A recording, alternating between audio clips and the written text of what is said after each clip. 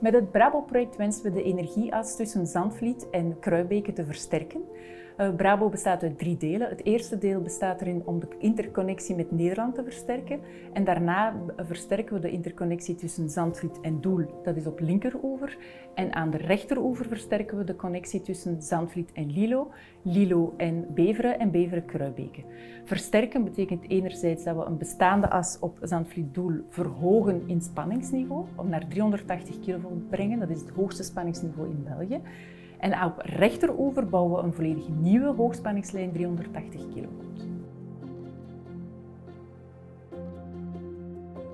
Met Brabo wensen we eigenlijk een antwoord te bieden aan drie verschillende noden. Een eerste nood is het verhogen van de capaciteit van de Antwerpse haven.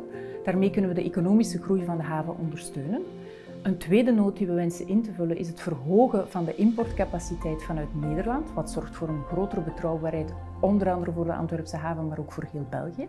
En in derde instantie slagen we erin met uh, Bravo om de interconnectie van het Europese net te verwezenlijken. De speciaalste masten die we vandaag bouwen op Brabo zijn de masten van de Scheldeoversteek. Dat zijn masten die 192 meter halen. Dat is een echt huzarenstukje uh, en echt wel de kers op de taart voor de ingenieurs bij Elia. We moeten die hoogte aanhouden om een vrije doorgang over de Schelde te kunnen verzekeren voor de schepen. Uh, de Schelde-oversteek die we moeten maken is 900 meter lang. En in het midden houden we dus rekening met de doorgang van de geleider en wensen we dus een veilige doorgang voor de schepen te bewaren.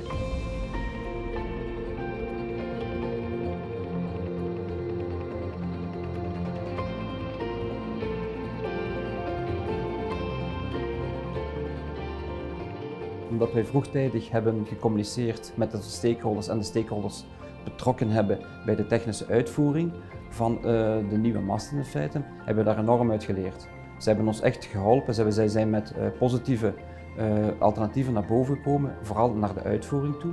En voor Brabo 3 gaan we dat zeker kunnen gebruiken, omdat ook deze lijn voor gedeelte in het havengebied, namelijk de Waaslandhaven ligt.